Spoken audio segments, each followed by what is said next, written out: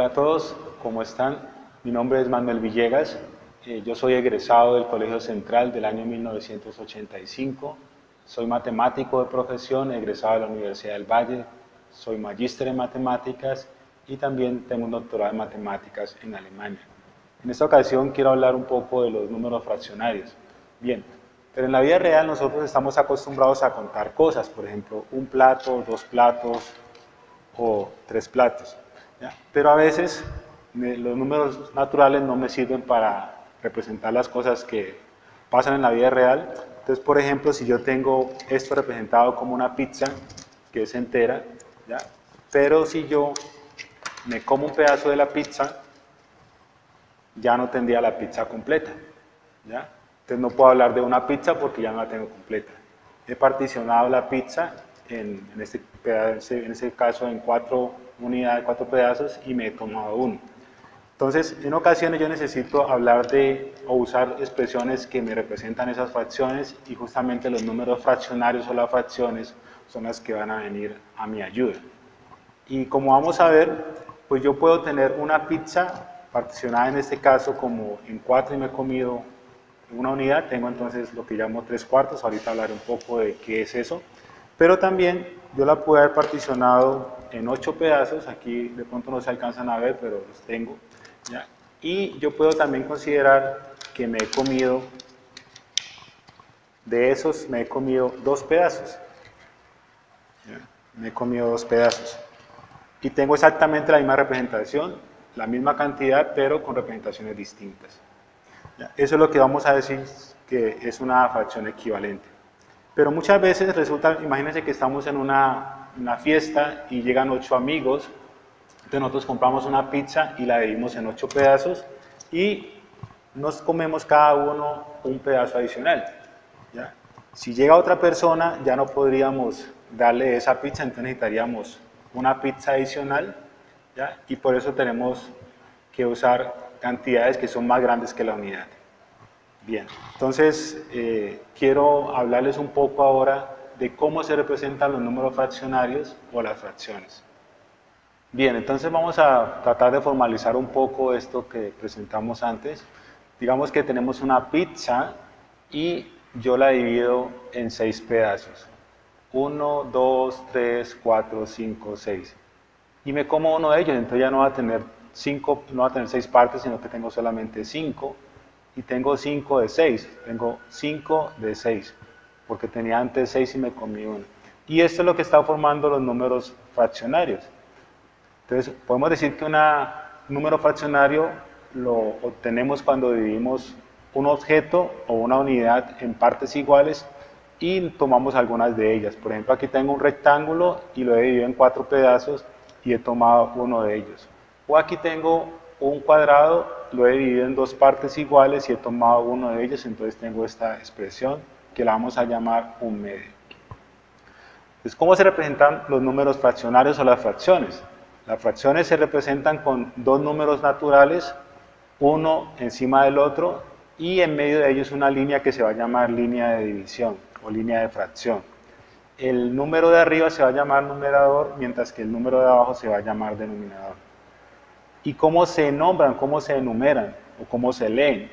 Entonces los números de arriba en el numerador se van a, se van a denominar usando los números cardinales 1, 2, 3, 4, así sucesivamente mientras que los números de abajo se van a llamar denominador y se van a denombrar usando los números partitivos o, fraccionarios.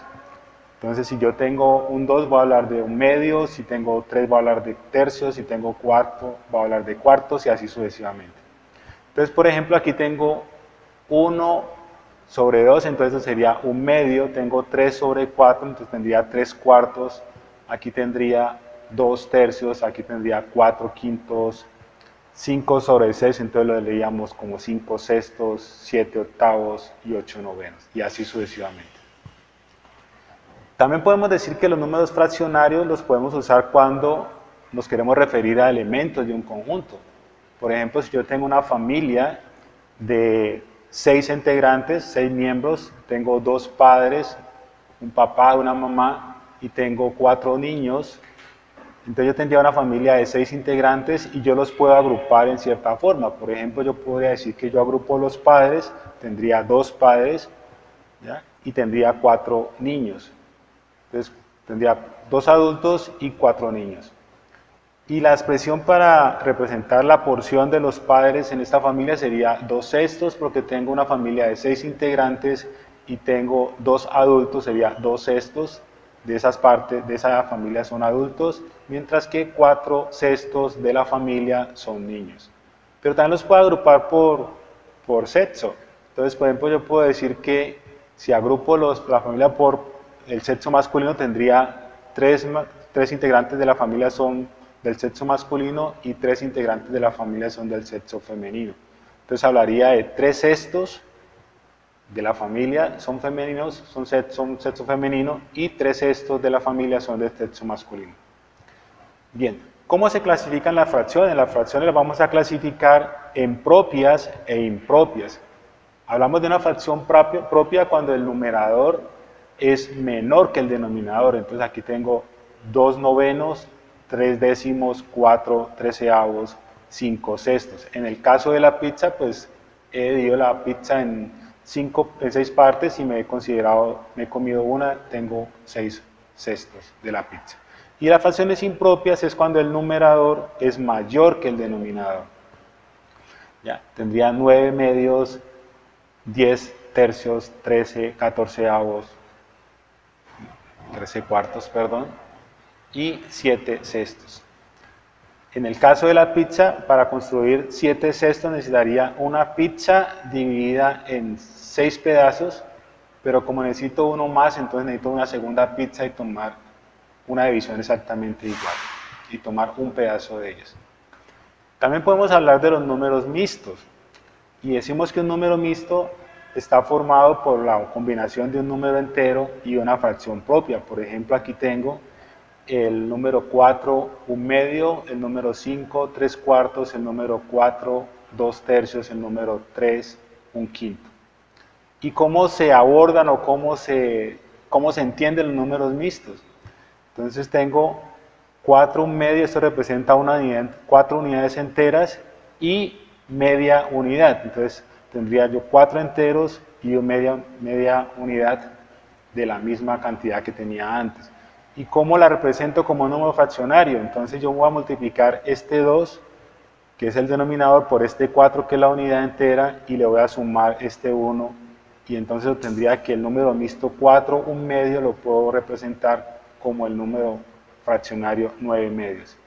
Así sucesivamente yo tendría, por ejemplo, el número mixto 5 tercios, 5 tres cuartos, perdón, eh, lo representaría como 5 unidades enteras y 3 cuartos de una unidad. Y como número fraccionario, como fracción impropia, sería 5 por 4 me da 20 más 3 me da 23. Entonces el número mixto 5 3 cuartos es igual al número fraccionario 23 cuartos. De la misma forma, si tengo el número 4 2 tercios, pues 4 2 tercios será equivalente al número fraccionario 14 treceavos, ¿por qué? 14 tercios, perdón, porque 4 por 3 me da 12 más 2 me da 14. Y finalmente tengo el número mixto 3, un quinto. Esto es igual al número 16 quintos. ¿Por qué? Porque 5 multiplicado por 3 me da 15 más 1 me da 16. Entonces, de esta manera yo puedo tener los números mixtos representados también como fracciones impropias, pero también lo puedo hacer al revés. Una fracción impropia representarla como un número mixto. ¿Y cómo lo hago? Consideremos nuevamente el 1 medio, y el 1 medio lo vamos a representar como la fracción 4 1 medio. ¿Por qué razón? Si yo divido el 9 entre el número 2, aplicando el algoritmo de división, pues me da cociente 4. 4 multiplicado por 2 me da 8, a 9 me sobra 1. Entonces 1 es el residuo. Entonces este residuo con este, numerado, con este denominador es el que me va a permitir formar la fracción impropia. La fracción propia, disculpen. Entonces tengo 4, 1 medio, que es el mismo número 9 medios. También tengo el número 23 cuartos, que como número mixto lo puedo escribir como 5 3 cuartos. De nuevo, divido 23 entre 4 me da como cociente 5. 5 por 4 me da 20, a 23 me da 3. Entonces el número 23 cuartos es lo mismo que el número mixto 5 3 cuartos. Igualmente tengo para 16 quintos, cuando divido 16 entre 5 me queda cociente 3, residuo 1, porque 3 por 5 me da 15, a 16 me da 1.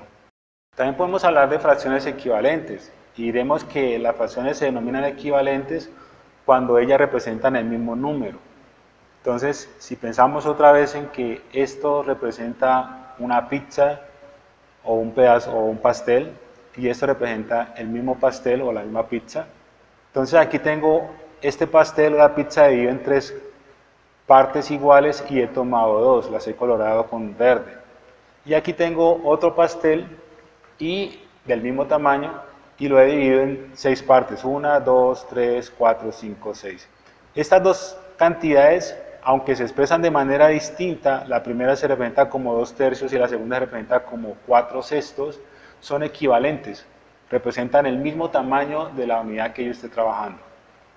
¿Y cómo me doy cuenta que son equivalentes? Pues el proceso es multiplicar en cruz, yo cojo el, numerador de, la de una expresión y lo multiplico por el denominador de la otra y esto me daría 2 por 6 me da 12 y hago lo mismo con la segunda parte, el denominador de la primera y el numerador de la segunda, 3 por 4 me da 12. Entonces por eso esas dos expresiones son equivalentes. Igualmente tengo con 3 cuartos y 6 octavos. Este círculo lo he dividido en 4 partes iguales y he tomado 3. Este círculo lo he dividido en 8 partes iguales y he tomado 6. Entonces tengo la expresión 3 cuartos y la expresión 6 octavos. Son iguales porque si yo multiplico 3 por 8 me da 24 y 4 por 6 me da 24. Entonces, ¿cómo puedo construir fracciones equivalentes? Lo puedo hacer por dos métodos, por expansión, que es multiplicando el numerador y el denominador por el mismo número. ¿ya? Por ejemplo, tengo 2 tercios y lo multiplico por 2, tendría 2 por 2 me da 4, 2 por 3 me da 6. Entonces tendría que 2 tercios es equivalente a 4 sextos. Si vuelvo a multiplicar por 2, me quedaría 4 por 2 me da 8 y en el denominador sería 2 por 6 me daría 12. De la misma forma multiplico otra vez por 2 y tendría 16 24 avos. Y si puedo multiplicar otra vez por 2 tendría una cadena de fracciones equivalentes. No quiere decir que solamente pueda multiplicar por 2 o por 3 o por 4, o sea, puedo multiplicar por la misma cantidad tanto arriba como abajo. Ese sería el método de construir fracciones equivalentes por expansión. Pero también lo puedo hacer por simplificación, que sería un proceso al contrario. Es buscar factores o divisores comunes en ambos números, el numerador y el denominador, y dividir la fracción por ese número. Entonces tengo 27 sobre 36, 27 36 avos, lo divido por 3, entonces me daría 27 dividido 3 me da 9 y 36 dividido por 3 me da 12. Entonces formaría la fracción 9 doceavos que es equivalente a la fracción 27 36 avos. Y si vuelvo a dividir por 3, 9 dividido por 3 me da 3 y 12 dividido por 3 me da 4. Entonces tendría, tendría la fracción 3 cuartos y así tendría una cadena de fracciones equivalentes por el segundo método que sería simplificación. Ok, ahora quiero eh, mostrarles una animación eh, que la podemos encontrar en internet y al final del video aparece la descripción para que ustedes puedan ir y divertirse un poco con eso. Entonces digamos que yo tengo esta circunferencia y acá tengo unos números que le diríamos 2, 3, 2 tercios, un medio y dos medios. Particularmente en este caso, cuando estoy tomando el mismo número arriba y abajo, entonces tendría realmente una unidad completa. Entonces, la idea es colocar estos círculos o estos pedazos de círculo en, este, en esta circunferencia para tratar de construir estos números. Entonces, voy a concentrarme en el primero que me dice que tengo la unidad dividida en tres partes, entonces la dividimos en tres partes. Y me dicen que coja de esas tres partes, coja dos. Si miramos en la parte de abajo, este término estaría dividiendo, o esta figura está dividida en dos en partes, tres partes iguales. Tomamos una, tomamos la segunda Y como aquí tengo exactamente 2, pues lo arrastramos y si lo hicimos bien, vamos a tener una campanita de éxito. Y nos vamos a concentrar ahora en el segundo, que me dice que tengo que dividir la figura en dos partes y tomamos entonces una de ellas. Y la arrastramos y obtenemos otra campanita de éxito. Finalmente tengo el 2 medios y 2 medios como les dije es, representa una unidad y si vemos en esta expresión o en, este, en estos iconos pues tendría 1 que es entero y aquí tendría una mitad que yo podría intentar colocar esta pero no tendría segunda para reemplazar entonces pues tocaría usar de una el entero y seguramente nos va exitosa nuestra tarea. También podemos hablar o podemos animar lo que son las fracciones equivalentes usando esta aplicación. Entonces digamos que yo tengo estos cuatro circulitos a la izquierda y tengo estos cuatro circulitos a la derecha. Esta expresión va a representar los cuatro de la izquierda y esta expresión los cuatro de la derecha. Entonces digamos que voy a tomar una unidad en ambos casos. Tengo 1 sobre 1 por ahora pero aquí voy a tomar una división en dos. Entonces, esto me está mostrando que este circulito es equivalente a este y los otros pues no los he usado por ahora porque estoy usando fracciones impropias. Propias. Entonces, digamos que yo tengo una tercera división. Entonces, tendría que la unidad yo la puedo representar como 3 tercios y si yo aumento la división entonces vamos a tener divisiones a la izquierda, divisiones a la derecha. Entonces si observamos nuevamente, aquí tengo esta unidad, la he dividido en dos pedazos y he considerado la mitad, entonces tengo un medio, y a la derecha tengo la unidad, la he dividido en seis partes y he considerado tres sextos. Como veíamos antes, entonces estas expresiones son equivalentes porque yo multiplico 1 por 6 me da 6 y multiplico 2 por 3 me da 6. Podría intentar una división adicional, ¿cierto? Entonces tendría yo tres unidades acá, tres divisiones, aquí tendría nueve, pero ya vemos que es muy, muy poco lo que alcanzo a distinguir. Entonces, ¿qué pasa si yo tengo, por ejemplo, una pizza y la divido inicialmente en tres, ¿ya? Y llegan cuatro amigos, entonces una opción sería dividir esta en cuatro pero si la pizza es muy pequeña, entonces lo mejor es conseguirme una pizza adicional, ¿ya? Entonces, consigo una pizza adicional y tendría yo una pizza, esta ha tomado tres unidades, tres partes, disculpen, y tomaría una cuarta parte de la segunda pizza. Entonces tendría el número fraccionario 3 cuartos, que es equivalente al número 12 novenos. Y aquí nuevamente representaría 9 pedazos y aquí tendría los tres adicionales. Entonces la invitación chicos es a que visiten eh, las páginas que voy a colocar en la descripción del video y confío en que esta pequeña introducción sobre las fracciones sea de gran utilidad para ustedes. Nos vemos en una próxima oportunidad. Que Dios les bendiga.